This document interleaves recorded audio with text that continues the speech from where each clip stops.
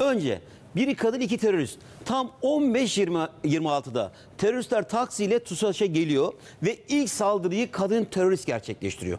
15-26 ve bu saldırıdan 4 dakika sonra tam 4 dakika sonra e, özel güvenlik görevlisi Atakan Şahin ateş açtığında kadın teröristin kendini patlatıyor. Yani burada da buradaki ana dönüm noktalardan birisi bu. Saat 15.30. Hani Bu arada Atakan, Atakan Şahin, Şahin yaralı haldeyken Evet. yapıyor bunu. Atakan Şahin e, yaralıyor, yaralanıyor o kadın teröristin otomatik silahla ateş açtığı şeyden ve yaralı halde silahını çekiyor ve çatışmaya devam ediyor. Ve burada kadın terörist öleceğini anlıyor ve hemen üzerindeki o canlı bomba düzenini aktif hale getiriyor ve kendisini patlatıyor. Böylece Atakan Şahin TUSAŞ'ın özel güvenlik görevlisi canı pahasına kadın teröristi etkisiz hale getirmeyi başarmış oluyor. Burası bu saldırı anındaki önemli birinci dönüm noktası. Daha Allah'tan sonra rahmet diliyoruz bir kez Evet. ailesine sabırlı. daha sonra Allah rahmet eylesin evet ben de aynısını diyorum. 15.30'da bu mücadelenin ardından 10 dakika sonra 10 dakika o bölgede çatışma başlamış, silah sesleri var ve bir ha- hareketlilik yaşanıyor.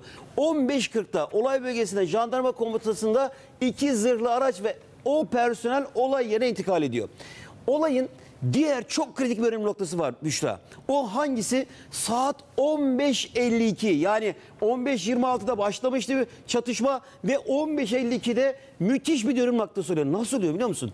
PÖH timi yani e, polis özel harekat zırhlı timi TUSAŞ akademi binasına erkek teröristin girdiğini görüyor, biliyor ve 60 kilometre hızla o zırhlı araçla e, o akademi binası cemekanlı, camlı, önde turnikeler var.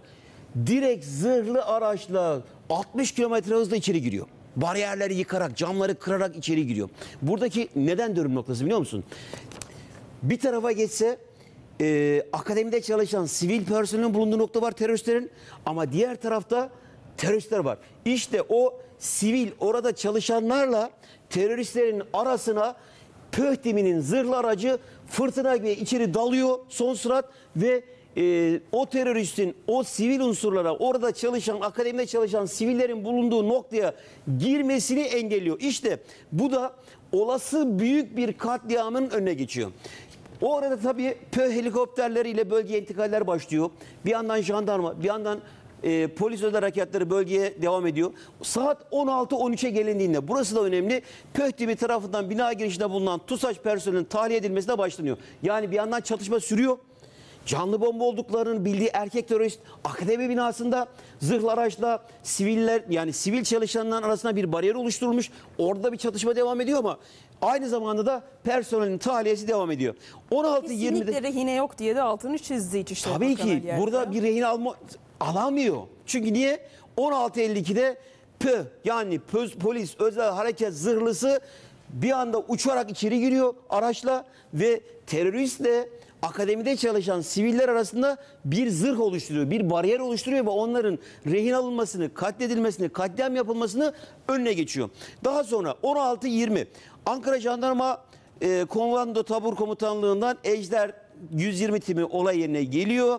PÖH unsurlarına katılarak bir an arka kısımdan giriş yapması sağlanıyor. Artık bölge tamamen e, hem jandarma özel hareket hem polis hareket tarafından Havada İHA'lar başlanıyor. var.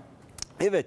Havada da İHA. O arada hani operasyon bir bütünlük içinde yapılacak ya. insan hava aracı da anlık oradan görüntü sağlıyor ki ona göre emir komuta zinciri işliyor. Ve 16.24'e gelindiğinde bu sefer de yine e, Jandarma Özel Harekat Komutanlığı'nın birinci Jopper timi S-70 genel maksat helikopteriyle TUSAŞ tesisine iniş yapıyor. Yani hala operasyon burada büyük şiddetle devam ediyor. Peki bu hani jöh geliyor, pöh geliyor, bölge çevriliyor. O arada bu e, 15.52'de o içeri dalan zırhlı araçta bulunan polis özel harekat timleriyle e, canlı bombalı terörist çatışmaya devam ediyor aslında biliyor musun? Ve ne, ne yapıyor? Terörist o sırada e, önce birinci kata çıkıyor. E, polis özel hareket timi onu sıkıştırıyor. Takibe devam ediyor ısrarla ellerindeki o çelik kalkanlarıyla ve bu sefer de ikinci kata çıkıyor. Yani e, erkek terörist akademi binasının ikinci katına nereye çıkabilir biliyor musun? Tuvalet kısmına doğru itiyorlar. Çünkü niye? Buradaki amaç şu Büşra. Diğer o akademide bulunan sivil katliamının önüne geçmek için. Ve 16.40'a geliyoruz. 16.40'da önemli bir dönüm noktası buradaki operasyonda. Neden önemli? Polis özel harekat unsurlarınca müdahale sırasında TUSAŞ Akademi binası ikinci katında bulunan erkek terörist kendini patlatıyor. Bak kendini patlatıyor. Bu arada o hani hep polis özel harekatla bu erkek terörist bir çatışma oluyor ya. Bomba atıyor, işte bir takım patlayıcılar atıyor, çatışma oluyor ve bu yaralanan polisler de hafif şekilde o şarapnel parçalarıyla, kurşunla değil, silahla değil, o patlamanın tesiriyle Camlar. oluşan evet camlarla vesaire şeylerle patlıyor. Burası da 16.40 artık tuvalette akademinin ikinci katında tuvalette sıkışan erkek terörist de çaresiz kalıyor ve o da kendini patlatıyor. Yani o zaman şöyle terör saldırısı başladığında 4. dakikada ilk terörist, kadın terörist kendini patlattı. 74. dakikada da ikinci terörist kendini patlatmış oluyor. On- al- 15-26'dan Yani başlayınca. e, ne kadar evet 56. dakikada denk geliyor. Evet ve daha sonra 17-15'te binada TUSAŞ personeli tahliye ediyor ve 17.30'da bölgenin tamamı emniyete alarak olay inceleme timleri bölgeye çağrılıyor. Şimdi 15-26'da başlayan ve zamana karşı muazzam bir yarış var. Büşra bak burada çok önemli iki dönüm noktası var. Bir, Atakan Şahin. TUSAŞ'ın şehit olan özel güvenlik görevlisi canı pahasına kadın terörist etkisiz hale getiriyor. Burada aslında ne yapıyor? İki kişi ya biri imha edilmiş oluyor ve canı pahasına onu ortadan kaldırıyor. İkinci dönüm noktası 15.52 buraya arkadaşlarımız göstersin. Burada polis özel hareket timi içeri akademi binasına giren erkek teröristi etkisiz hale geçirmek için 60 kilometre hızla zırhlı araçla bariyerleri ve cam duvarları aşarak içeri giriyor.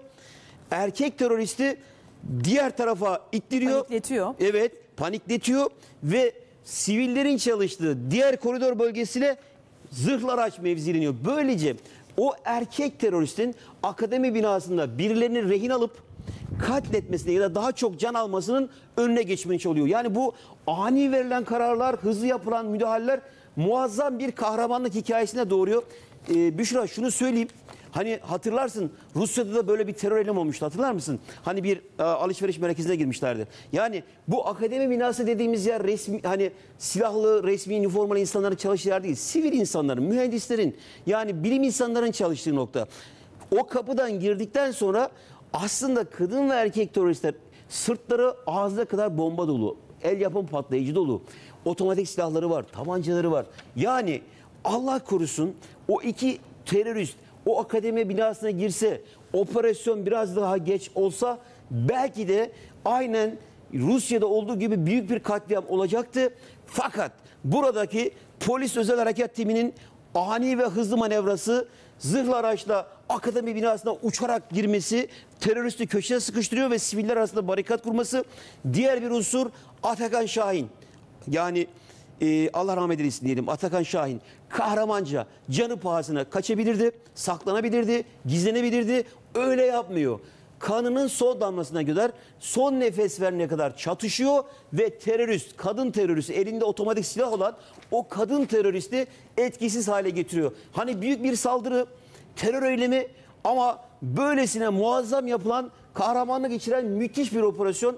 Bu anlamda biz bu grafiği biz hazırlarken de dedik ki Büşra gerçekten de dedik ya nasıl bir mücadele olmuş. Zamana karşı yarış. İki tane terörist içeri giriyor ama polis özel harekat hiç canlı bomba olduğunu biliyor. Bak burası çok kıymetli. Normalde canlı bombaya müdahalede şöyle bir unsur olur Büşra. Mesafe koyarsınız araya. Çünkü kendini patlattığında siz de uçabilirsiniz ama öyle yapmıyor canı pahasına polis özel, özel hareket timleri zırhlı araçlarla uçarak oraya giriyor ve o çelik kalkanlarıyla çatışa çatışa onu ikinci kat tuvaletine kadar sıkıştırıyor ve artık kaçacak yeri olmadığını anlayan terörist ne yapıyor? Kendini patlatıyor. Böylece orada olası büyük bir facia, olası büyük bir katliamının da önüne geçilmiş oluyor. Şöyle düşün, bu polis özel hareketimiz bu eylemi yapmamış olsaydı o terörist o akademi binasında gözü kanlı, eli kanlı terörist belki de büyük katliam yapacaktı ama bu müthiş manevra, muazzam operasyon, cesaretlik içeren,